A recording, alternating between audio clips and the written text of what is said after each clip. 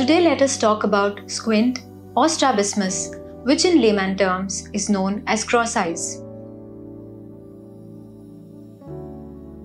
I am Dr. Smita and I am the pediatric ophthalmology and strabismus consultant at Vision Eye Centers, New Delhi.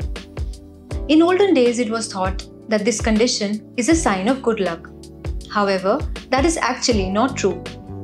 Our eye movements are controlled by extraocular muscles that move the eyes up, down, in, out, and also rotate the eyes towards and away from the nose. When the eye muscles are in sync, our eyes look straight ahead.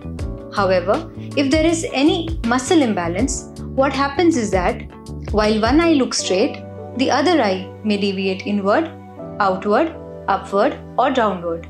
When both the eyes look straight at an object, the brain processes signals and combines the images from the eyes into a single image. This is known as binocular single vision, and this helps in gauging depth of objects. This is known as 3D vision or stereopsis.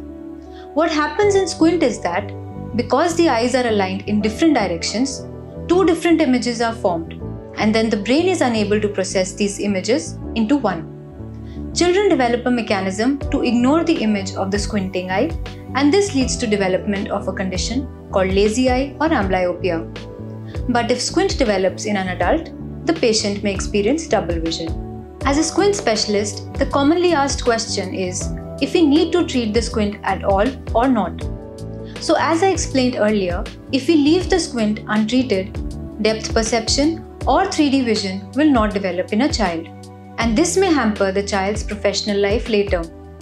Squint also affects the physical appearance of a person.